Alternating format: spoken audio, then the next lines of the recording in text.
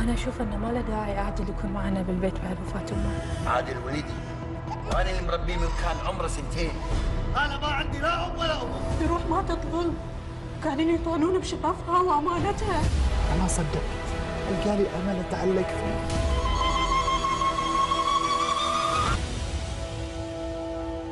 شو أسوي؟ بيت الذل في رمضان على خليجية. عيشوا معنا معنا رمضان.